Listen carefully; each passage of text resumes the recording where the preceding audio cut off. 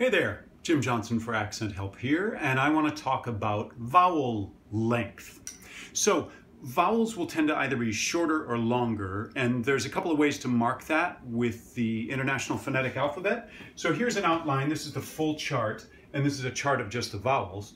So on this, there are these diacritics that can do little tweaks. So if you take a vowel at random, let's say the E sound, which is this lowercase i, you can indicate length by adding two dots after that. They're actually little teeny tiny triangles that face one another, but those are a pain in the butt to write. So I'm just going to do a couple of dots, which looks like a colon, which suggests more length.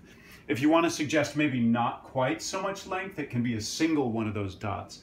But the main one that you probably want to use is to use the double dot. Now, when you want to make something shorter, indicate that with the IPA, you can take this very same vowel and then simply put this over it, a little sort of U-shaped thing. It's something that people will commonly use with uh, Shakespeare to indicate a, uh, an unstressed uh, syllable in iambic pentameter. But that indicates short vowel versus long vowel, okay? Uh, you can also not mark it and then we just don't know what it is and or you can assume that it's something in the middle. So what makes vowels longer or shorter? Well, if they're at the end of a word, a word like me, then it tends to be longer. If it's got after it a voiced consonant, then that voiced consonant, because the voicing is continuing, you will tend to stay on your voice, so the vowel tends to be longer. So a word like bead, the vowel tends to be longer. If you have an unvoiced consonant after it, like a T, and you have a word like beat, it tends to be a shorter vowel because your voice is basically cutting off faster to try to be ready for not voicing. So this is the unvoiced, this is the voiced. You can substitute other things for it as well. You could go with a G and a K as different examples. Beak, beeg.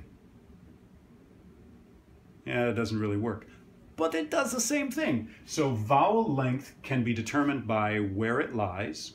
It can be determined by what follows it, right?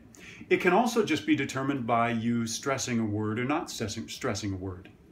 One other thing that I want to throw at you is that there are vowels that tend to be a little bit longer and vowels that tend to be a little bit shorter. And the ones that tend to be longer are oftentimes called tense vowels, and the ones that tend to be a little bit shorter are oftentimes called lax vowels. So for example, an E sound is considered a tense vowel, whereas the I sound, as in sit, tends to be considered a lax vowel. So it tends to be shorter.